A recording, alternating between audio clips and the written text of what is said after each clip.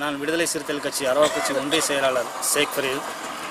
அரவாக்குச்சி ஒன்றியம் வேளம்பாடி பஞ்சாயத்தில் சுற்று வட்டாரத்தில் எல்லாம் தண்ணி அடிச்சுட்டு நடு ரோட்டில் பாட்டிலை போட்டு உடைக்கிறதும் இப்போ அங்கே ஸ்கூலுக்கு போகிற பெண்கள்கிட்ட வந்துக்கிட்டு அராஜகமான வார்த்தைகள் பேசுகிறதும் குழந்தைகளில் இப்போ ஸ்கூல் போகிற பிள்ளைகள்ட்டையும் வந்துக்கிட்டு அராஜகமான வார்த்தைகள் பேசிட்டு இது பிரச்சனை பண்ணிக்கிட்டு இருக்காங்க.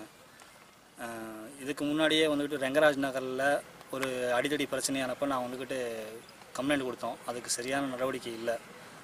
இந்த மாதிரி பிரச்சனைகள் மேலும் மேலும் செஞ்சுக்கிட்டு இருக்கிறாங்க.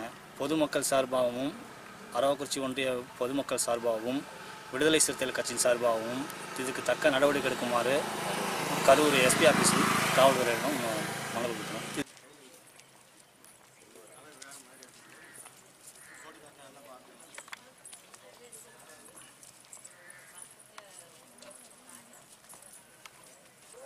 அவர் சேர்ந்து வச்சுட்டீங்களா ம்.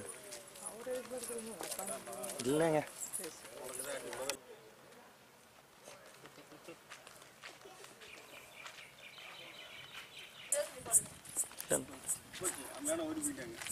நான் இல்லை